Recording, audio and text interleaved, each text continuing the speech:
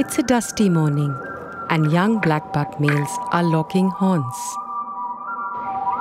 The territory they are fighting for will belong to the victor this breeding season. He will guard it and allow only females to enter during this period.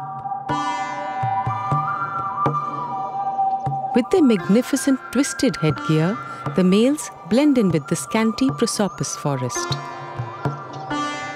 While females wear a caramel coat all their lives, the male's coat turns glossy black with age.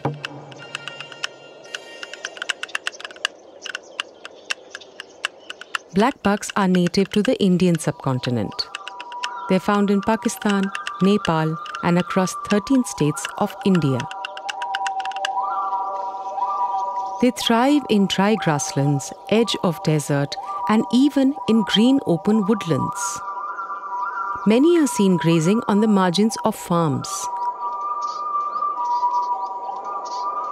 But the blackbuck's favorite home is the rolling grasslands a habitat that's being rapidly destroyed.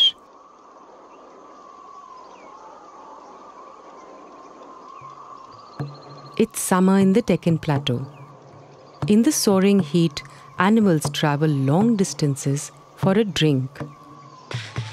Black Blackbucks need water every day, and their presence is a sign of water nearby. And where there is water and prey, predators follow.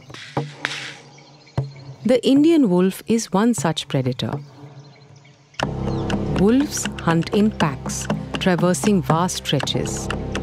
And today, they are hungry. A herd of female blackbucks is an open invitation. But this hunt will not be easy. These antelopes are fast and can clock up to 80 kilometers per hour. The pack of wolves closes in. The herd makes a run for their lives.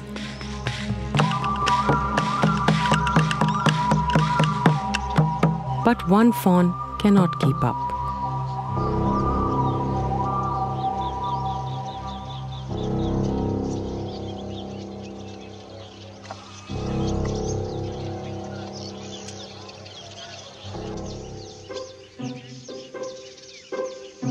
Antelopes play an important role in the ecosystem.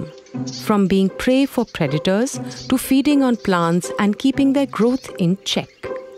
They keep the food chain sustainable. Large herds would graze in these open plains, but now groups of more than 30 to 50 are rare. Without blackbucks sprinting around our golden grasslands, the delicate balance of this ecosystem will be disrupted. If grasslands succumb to pressures of development, an entire ecosystem and a way of life will be erased.